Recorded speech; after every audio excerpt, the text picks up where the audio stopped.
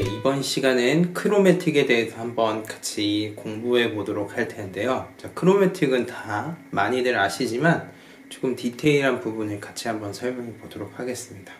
우선 왼손의 손가락 번호는 T 1, 2, 3, 4. 이 정도는 다 알고 계셔야 하고요.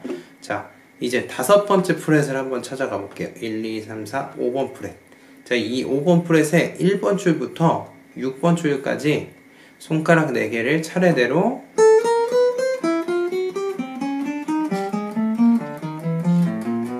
이렇게 올라가 보도록 하겠습니다. 그러면 여기서 하나 더 기억할 두, 두 번째 포인트는 먼저 누른 손가락이 붙어 있고 두 번째 누른 손가락 계속 계속 붙어서 이어져야 된다는 거죠. 이렇게 되면 안 되죠. 이런 식으로. 이건 틀리고요.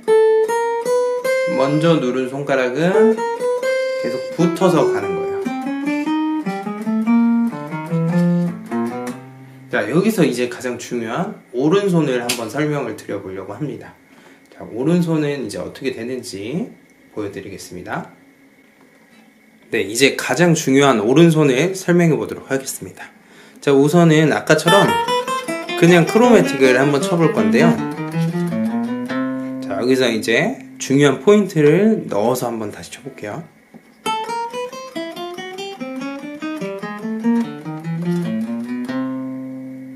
어디가 포인트냐? 오른손에 이 엄지 손가락의 안쪽 살, 요 부분을 기타 바디에 붙여서 6번 줄, 5번 줄, 4번 줄을 연주하면서 점점 내려갈수록 기타 줄에 이 손가락을 붙여, 이 손가락의 안쪽 살을 붙여서 연주를 하는 거예요. 그래야 잡음이 없이 연주가 됩니다. 얘를 공중에 띄워서 연주를 하면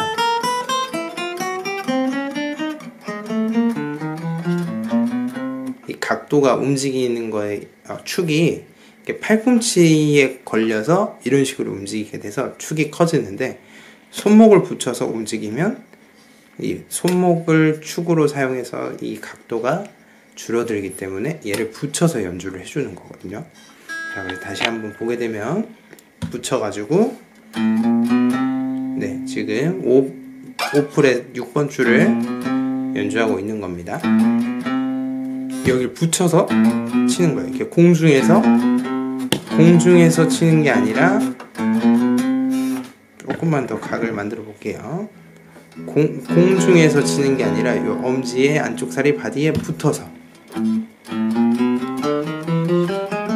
내려갈 때는 이 살이 기타 줄에 붙어서